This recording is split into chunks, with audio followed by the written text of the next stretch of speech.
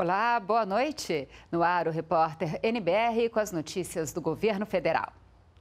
Você sabe como funciona uma usina de energia nuclear? Para produzir, elas precisam do urânio, que exige todo um processo para se transformar em combustível dessas usinas nucleares. E essa produção ganhou reforço hoje com a inauguração da sétima cascata de ultracentrífugas no Rio de Janeiro. Mais urânio, mais energia.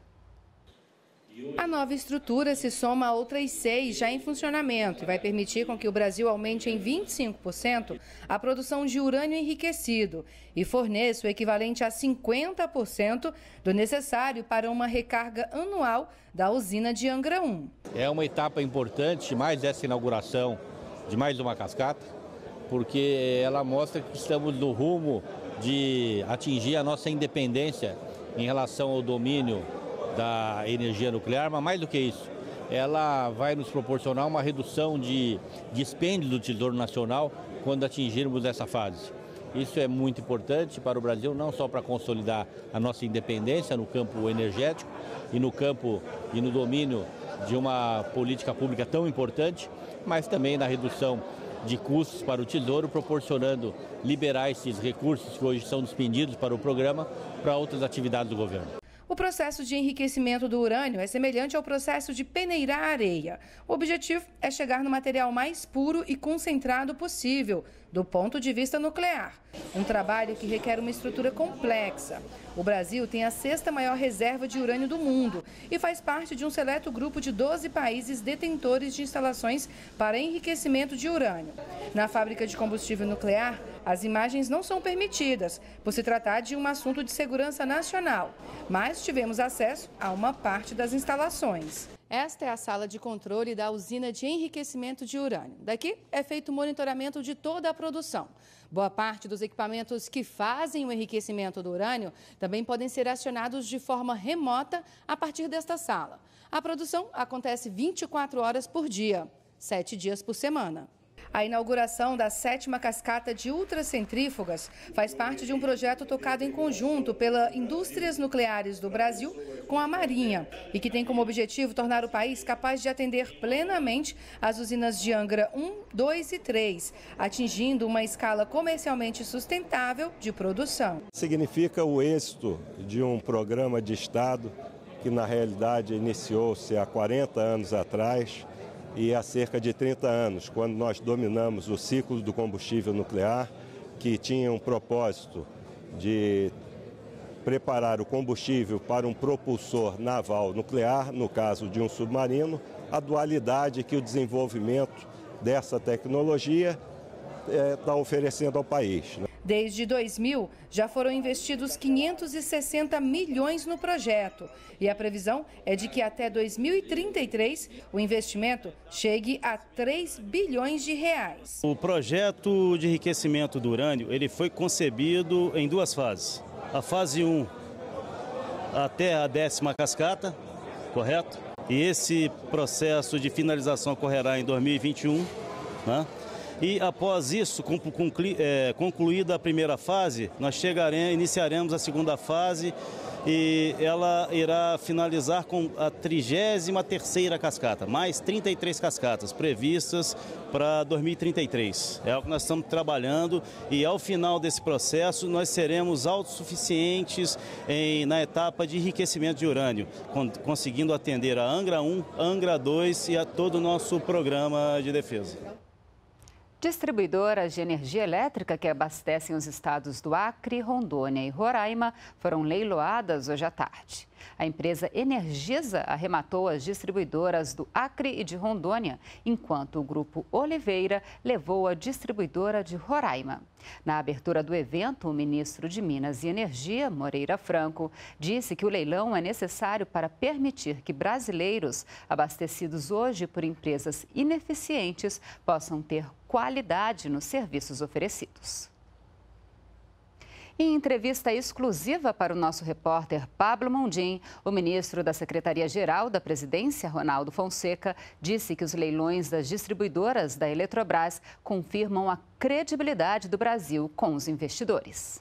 O Brasil está gerando credibilidade lá fora e internamente falando, que empresas privadas estão vindo para o Brasil e também empresas nacionais acreditando na segurança jurídica, no sistema que o governo está oferecendo, que dá tranquilidade para as empresas investirem no Brasil.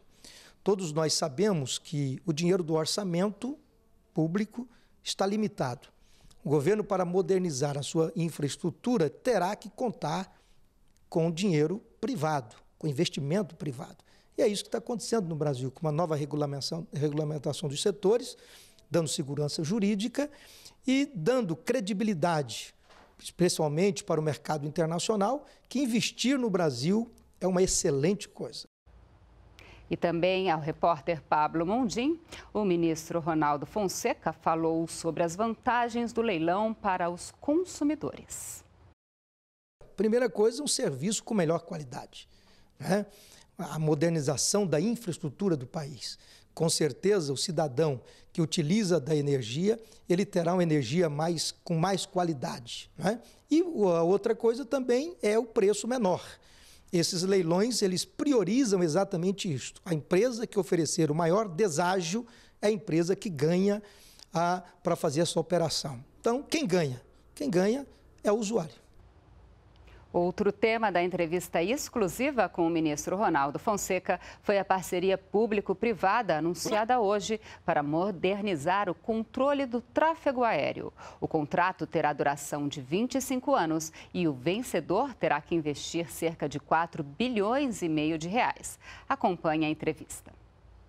O governo pretende realizar a primeira parceria público-privada da administração direta da União.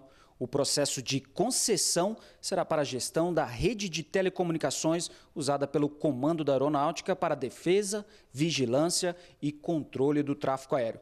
Para falar sobre esse tema, eu converso com o ministro da Secretaria-Geral, Ronaldo Fonseca. Obrigado pela entrevista, ministro. Como se dará essa parceria público-privada? o governo está lançando de forma inédita essa parceria. A legislação da parceria pública-privada deu-se no Brasil em 2004 e é pela primeira vez que é feita uma parceria público-privada com o governo federal. Essa parceria se dará a partir do lançamento do edital e depois de um leilão que vai acontecer na Bolsa de Valores. E nesse leilão vencerá a empresa que oferecer o maior deságio do preço máximo que o governo pagará pelos serviços. O governo está contratando gestão, contratando serviços. Hoje, o governo, o Comando da Aeronáutica já opera com 68 empresas. Esta PPP vai resumir apenas numa empresa e nós teremos já de entrada uma vantagem para o governo, que é um custo menor em cerca de 35%. Esta PPP propõe no edital e no contrato para 25 anos a parceria, com a possibilidade de uma renovação com mais 10 anos. Esta parceria, a, a empresa que for vencedora no leilão, ela terá que fazer um aporte imediato de investimento de 1 bi e 300 milhões, quase 1 bi e 500 milhões de reais, e durante o percurso do contrato, um investimento também de quase 3 bi, 2 bilhões e alguma coisa de custo da operação que ela terá no sistema além desses é, aportes que a empresa vencedora precisará cumprir, quais são os requisitos previstos na licitação para o cumprimento desse contrato? Veja, um dos requisitos importantes do edital é que a empresa vencedora, ao fazer este aporte de um bi e quase um bi e meio e mais este investimento do custo do projeto, ela terá que oferecer para o usuário brasileiro, para, para o governo federal, para a segurança de voo no Brasil, todo o sistema moderno que já existe hoje. Quais outros benefícios que essa parceria pode proporcionar tanto para a população quanto para a administração pública? Veja, primeiro a economia. Né? Todo cidadão quer ver o governo gastando menos e oferecendo um serviço melhor, com maior qualidade. Como eu já disse, nós teremos uma grande vantagem já de início, que é uma economia de cerca de 35%. Nessa parceria que o governo está fazendo, pagando, comprando serviços, hoje o governo já paga né, para essas 68 empresas. O governo continuará pagando, só que com uma economia de 35%. A, o, o edital vai oferecer, no edital vai oferecer um preço maior né, por essa compra, cerca de 190 milhões de reais.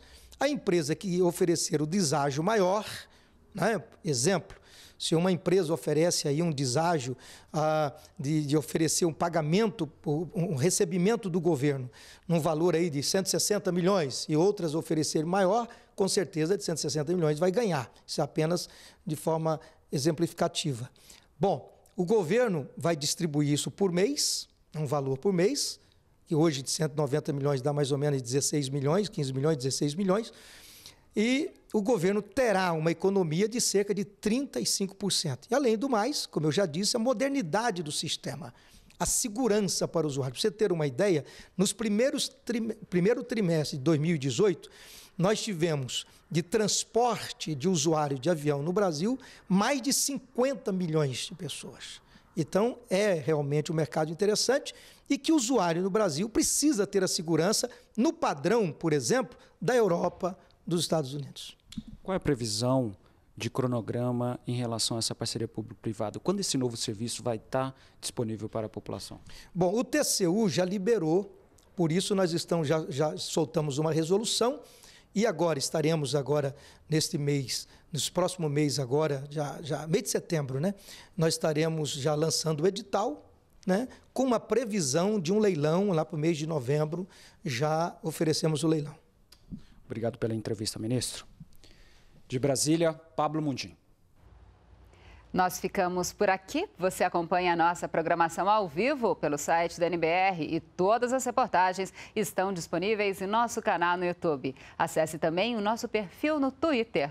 Uma boa noite para você e continue com a gente aqui na NBR, a TV do Governo Federal.